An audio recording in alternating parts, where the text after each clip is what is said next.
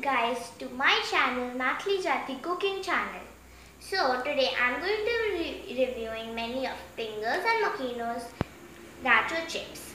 So first we have Makino's roasted masala. These are zero GMO corns, zero uh, trans fats and they have zero human touch technology. The price of these are 35 rupees. Then we have uh, Makino nacho chips jalapeno. I really like this flavor because this is for those people who really like to eat a lot of chili. Then this is cheese flavor. This cheese flavor is really good because it tastes like we are eating vintage cheese. Peri peri. This is exactly like the peri peri pizza but in the form of nachos. Then we have cream and onion. Um, they are original and normal like Lay's. So I'll recommend you trying them with Makino's flair. So sweet chili. Um, it's like sweet potatoes. And then we have uh, Pringles original one. This one is like very normal, like the salty chips of Lay's.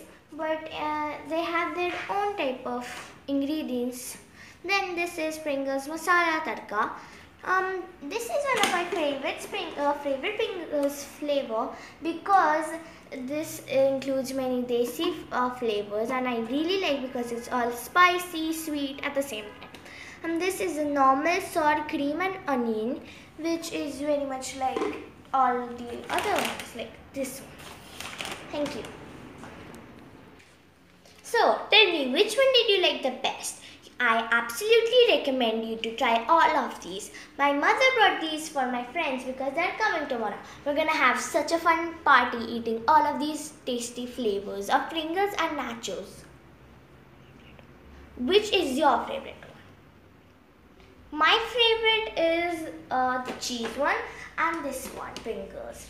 Because the vintage cheese really brings out the color of the whole picture. And then this one I love because it's like original, very nice.